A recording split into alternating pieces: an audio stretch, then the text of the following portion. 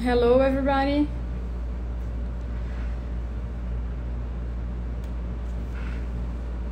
Hi, everybody. Let's try again.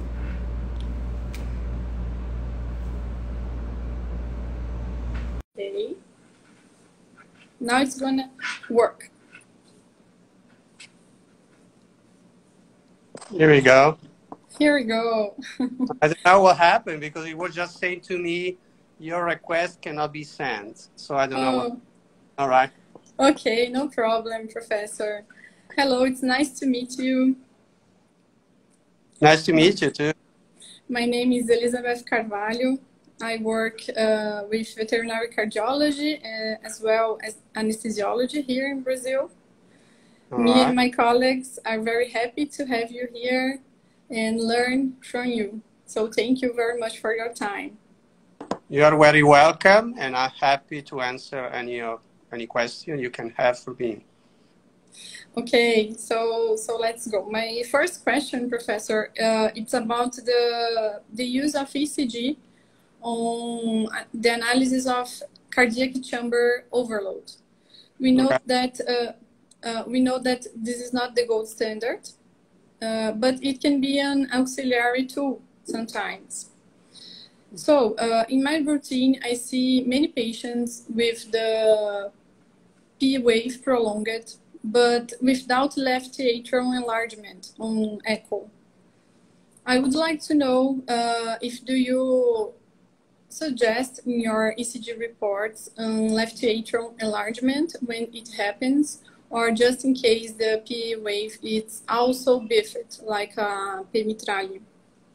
All right. I mean, this is a, an interesting topic because there is several paper regarding the uh, analysis of P waves in dogs with uh, left atrial enlargement mainly, and few papers about right ventricular enlargement. So we wrote a paper on T sub A in, uh, um, in dogs with AV block, and we study more on the right side. But if we consider the left side, enlargement. Usually, when you have a, a bifid P wave and a prolonged P wave, this usually, in our experience, means that there is a slowing of the conduction within the atria. And that means that usually you have uh, an isotropic conduction along the atria that is coming from non-uniform from uh, uniform it becomes non-uniform, meaning that you have a lot of fibrosis and there is a change in the pattern of conduction within the atria. So in my experience, when you have a prolongation of the P wave is more related to a fibrosis of the atria and not just on the volume overload. So there are cases where the two things come together. But for example, if you get large breed dog particularly Irish Wolfhound or you know uh, Newfoundland or any dog that are prone to develop atrial fibrillation, is very easy that they have prolongation of P wave uh, above five or, or six years uh, old of age, and this because you have slowing conduction is one of the uh, mainly uh, usually when you have prolongation of P wave, this is usually a um, trigger for atrial fibrillation. So that's my uh, my way of trying to understand why P wave is prolonged. Okay, perfect. Uh, so uh, when we have just a prolonged P wave uh, as an isolate, uh, isolate finding, it's not the case of suggest uh, left atrium overload. Yeah, I, absolutely. Yes, it's not just that, but you have also to consider that you can have uh, a lot of fibrosis in the atria, and so this dog can be prone to develop atrial fibrillation. So I think it's a marker of atrial fibrillation again due to the uh, the presence of fibrosis and non-uniform anisotropic conduction. Okay, perfect. Uh, professor, uh, many colleagues still don't have the habit to use precordial leads during uh, an ECG exam. Uh, I always try to warn about this uh, on profile, and I would like to know uh, if you can share your experience uh, about the concerns of this in the diagnosis of arrhythmias as well interventricular conduction disorders, for example. All right. As you know, we wrote a paper in 2019 on American Journal of Veterinary Research with the new system where we place V1 in the first right intercostal space. I think this is a very important paper because now we have for all different dogs, either brachymorphic, mesomorphic, and dolichomorphic, now we have a good uh, view of the right side of the heart because the, the right ventricle is anterior in the dog or cranial.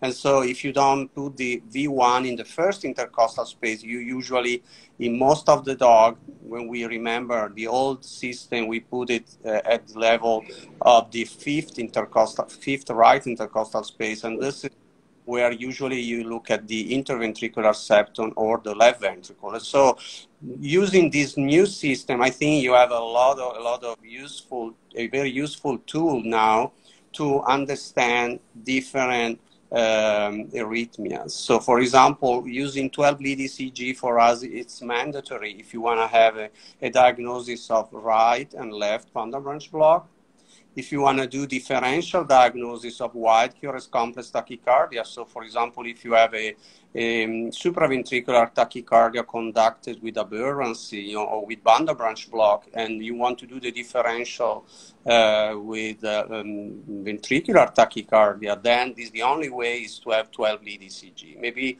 we can have, maybe there are some question on that, how we can actually manage the differential of wide QRS complex tachycardia. And then if you look at the P or P prime waves, you, there are some cases, particularly in deep chest dog, where P, P wave on the frontal plane, the axis is actually perpendicular. So you can have flat P wave in the, in the limb, in the six limb system, and then you go to the precordial and you can actually see quite well the P waves. Or if you have different arrhythmias and you want to see, for example, for focal junctional tachycardia, we want to look at the retrograde P wave. Sometimes it's not easy to see it in, pre- in a six lead system, but it's very easy to see them on the precordial. So we really think that precordial, I mean, we cannot stay without precordial now because with the new system, I think it's mandatory if you want to obtain a very, very good tracing. Yes, absolutely. I, I agree with you totally. Uh, professor, uh, in, in cats, do you use 12 leads ECG also? Okay, this is a little bit more difficult, you know, because the the positioning of the leads are very very close. So as you know, we put the the first, also in cat we put the V1 in the first right, then we put at, at the six at the level of the six left at the level of the sternum lead two, and then uh, V4 at the level of the costochondral junction. Usually using V1, V2, and V4 for cats, it's enough because the other one are too close. I don't think, since remember there are unipolar, so most of the time there are too close. You are looking in cats in the same spot, so I don't think we needed to put all of them. But for dogs, uh, a lot of um, cases, uh, also tiny dogs, you can use actually uh, 12 uh, lead ECG using the six lead system. Okay, perfect, perfect.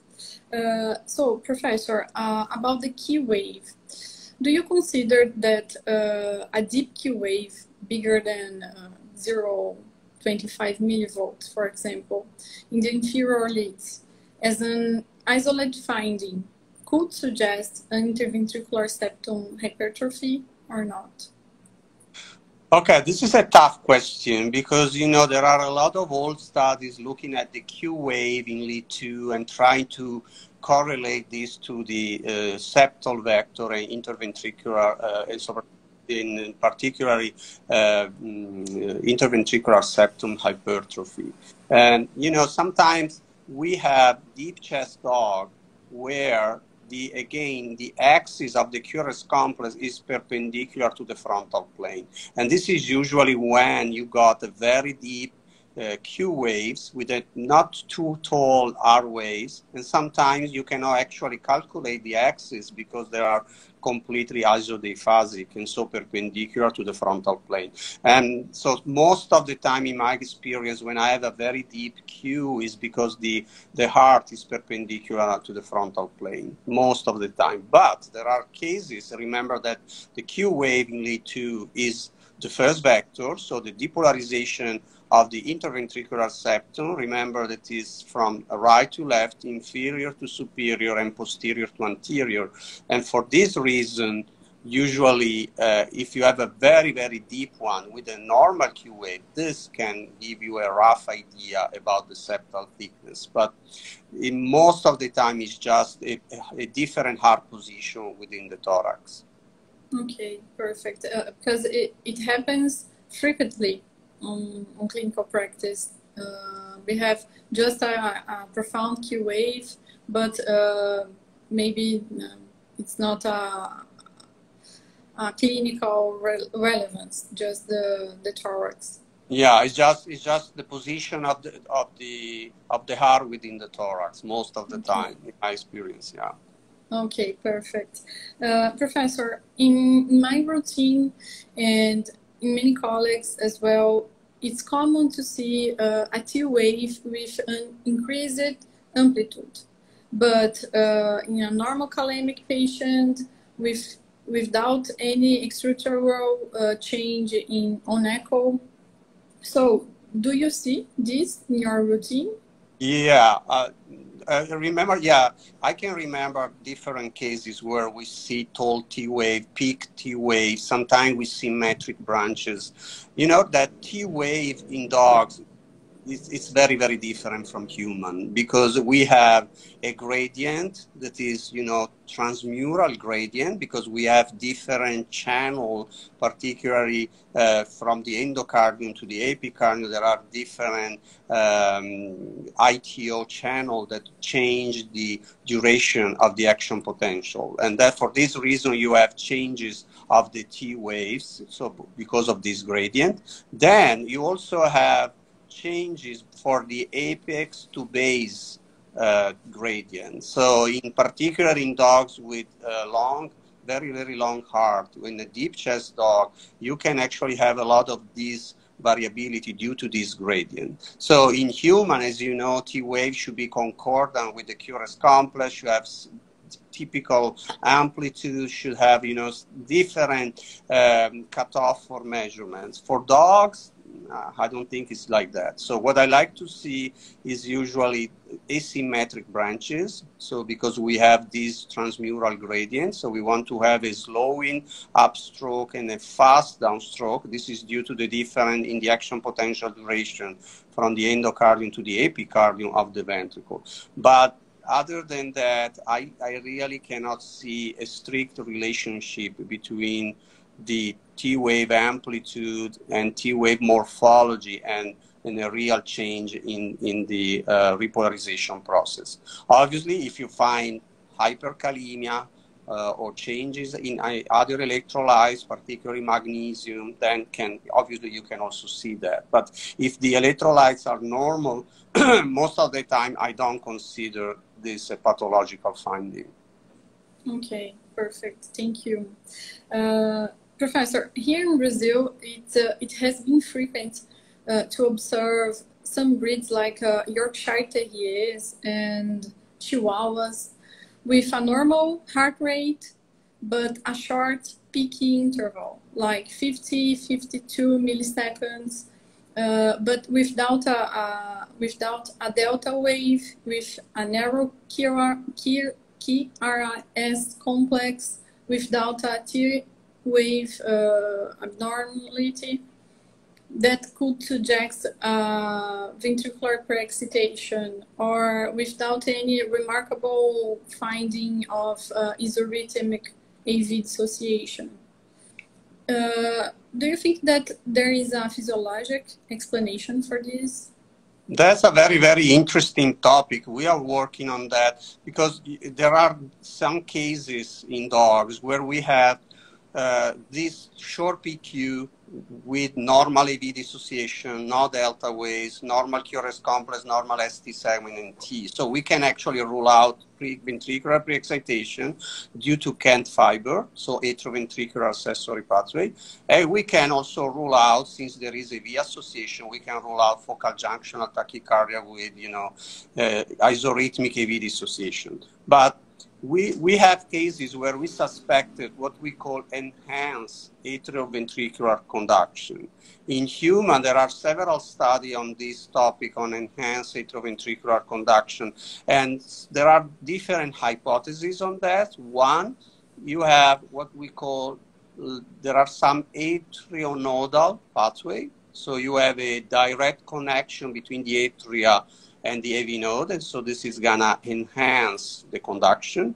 Or there are a dual physiology, and we found with the P mapping a lot of dogs with dual physiology uh, in the AV node. So you have a slow pathway and a fast pathway. And the, the second hypothesis is that some of human and, and I think some of these dogs have enhanced conduction along the fast pathway. And so in some particular situation when they get stressed in the hospital, they can conduct very rapidly along the fast pathway of the AV node. And so you have a very short PQ.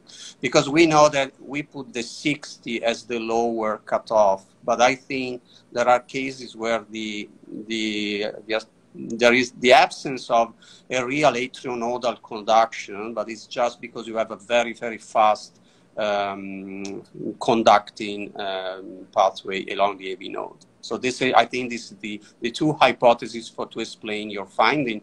And I really think there are, I cannot say common, but I do see them quite often. So I agree with you. Okay. Uh, yesterday I did uh, um, ECG on a Chihuahua, and I saw it yeah, so it depends because I cannot believe that there are too frequent to think there is related to the presence of uh, pathways, so atrionodal pathway or nodal ventricular pathway is too frequent. So I, I believe there are some dogs that have a very, very fast conducting pathway in the AV node. Usually it's the one that is going anteriorly along the intraatrial septum and, and then to the His bundle. And so there is a very fast conducting. When we do EP mapping, we can see what we call a V jump. So you can see a change in the AV conduction when you pace the atria very rapidly and you jump maybe from 50 to 110 or 120.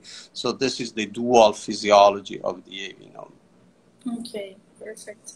Uh, so, Professor Santilli, in the differentiation of the wide QRS complex tachyarrhythmias, assuming that we have a high heart rate, like above 180 in a dog, uh, with um, AV dissociation and a V1 precordial lead at the first right uh, intercostal space.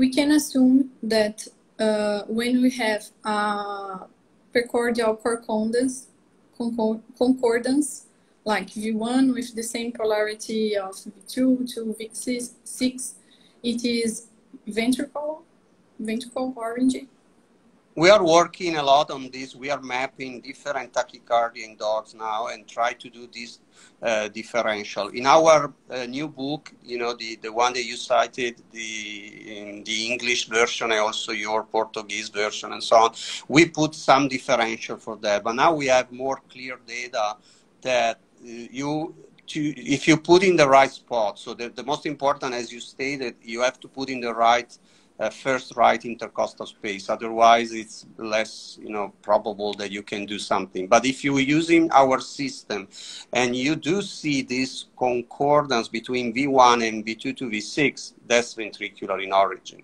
Uh, we usually, what we do, we look at the concordance between 1, 2, 3, AVF, and V2 to V6. So the mm-hmm. left limb leads, and the left precordial should have the same concordance in case of bundle branch block. And then you look AVR and V1, and they have the same concordance. So if you see the VR, AVR and, v, and V1 concordant, and V1, V2, sorry, 1, 2, 3, and AVF uh, we have a, the possibility that it's a der Branch block. If you don't see this concordant, that's probably ventricular arrhythmias. There is just one uh, exception to the rule, is the uh, right ventricular outflow tract tachycardia in English bulldog and in boxers with ARVC. In this case, we found, and we published a paper in Journal Small Animal uh, Practice, and usually what happens is that you can have, since it's coming very close to the His bundle, very in the right ventricular outflow tract area, is you, you can have a, a, a, appearance of the ventricle of the QRS complex that is very similar to a left bundle Branch block, but instead is a ventricular tachycardia. So this is usually what you have to do to do the differential. And we are now testing this algorithm. It's working quite nicely. Okay, perfect. Very nice. Mm-hmm. Uh, a huge importance of the use of precordial leads. oh, sure. Yeah, we really think that and the new system will help us a lot because you know at the beginning we we were still using them but we weren't very happy because a lot of cases were you know all precordial were similar but because we were placing V1 in the fifth right and, and in some dogs we were measuring just the, the, the vectors of the left ventricle. Yes, I, I saw it uh, on my PhD research. I worked with boxers all right. So, so uh, at that time, the precordial lead was not put on the first uh, right intercostal space. So yeah. it happened a lot. Yeah. In the paper that we mm, we published in the American Journal of Veterinary Research, we tested actually also this system, and we found that in dolichomorphic, so for example Doberman, and in also in some mesomorphic, just like Boxer, actually we were on top of the left ventricle. And so V1 was completely positive, just like V2, V3, V, and, and V2, V6. And, and then I forgot to say that, and we, and I put on my Instagram some example about the peak time. This is a new measurement that we really like to use for looking at ventricular desynchrony. And this is another example where the use of our precordial system will help a lot, understanding when you have conduction delay, if it's more the right or the left ventricle. So I think it's, uh, now I, we will put just a 10 minutes lecture on that on my Instagram if you want to have a look. I think it's it's going to be interesting to to see our work and we, we already published them and then in the next future we are preparing this paper on bundle Branch block using the heart peak time of, of precordial just to underline the importance. Sure, absolutely. I will share it uh, here on EquusVet Instagram. Okay. Absolutely. Yeah. And, and uh, can you tell us about your profile on Facebook? Yes, we have a group there. It's called Canine and Feline Arrhythmia Study Group. And we are, what I'm trying to do is to connect as much as I can a lot of ECG lovers all over the world. And so here now on this group, we have around, I think, 500 and something uh, cardiologists from all over the world. I got ex- really from all over the world. And it's nice because we posted ECG and we uh, will discuss different ECG. And any of you are really welcome to put ECG if you want to discuss with us. And, and soon we will do uh, in uh, a, a, streaming on uh, ECG reading. So we will uh, trying to organize starting from May. We will do some ECG reading. The only thing is going to be obviously in English because it's from you know from all over the world. That's the only way to, to do it. But um, I think it, if any of you is interested, you can either visit my Instagram account and, and this Facebook group. I think it, you, if you love ECG, you can find something interesting there. Yes, absolutely. Uh, so, Professor, uh, I want to thank you so much uh, for the amazing explanations. I'm sure that uh, this ECG talk was extremely helpful, not just for me, but for many colleagues all over Brazil and Latin America. We are very happy to re receive you here in Brazil the next year on the International Congress of Veterinary Car Cardiology, uh, promoted by the Brazilian Society of Veterinary Cardiology. I'll be there, sure. we will meet person. Hopefully, we will be meeting in person. yes. So we got already the vaccine here, and most of most people. So probably, hopefully, we can travel again. Oh, awesome, awesome. And hopefully uh, at that time we can take you to visit Cataratas do Iguaçu and many beautiful places around there. Perfect. Thank you so much for inviting me here and we My will pleasure. have other things together. It was a pleasure. Thank you. Thank you, Professor. Bye-bye. Be safe. Bye-bye. Bye. Bye. Bye. Bye.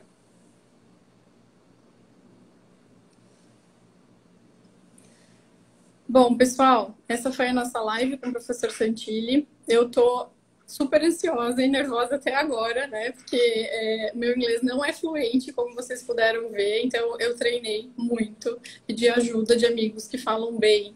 Uh, mas na hora a gente sempre enrola uma palavra, né? Esquece de falar tal coisa, enfim. Mas de coração espero que tenha sido muito proveitoso para todos vocês.